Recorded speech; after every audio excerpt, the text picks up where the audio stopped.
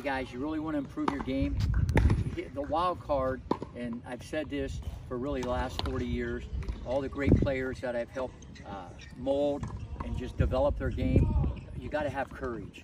At the end of the day, to me, courage is the leader in the clubhouse. Courage trumps everything. You cannot be afraid to fail if you want to succeed.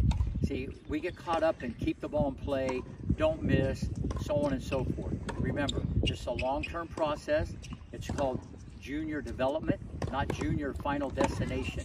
Don't be afraid to miss. Go out there and practice. That's where you learn. Then hopefully in the match you'll play on instinct. But at the end of the day, when it's all said and done, no fear. No fear. Because once you prove it to yourself, then you get the big C, which is confidence. You can do anything.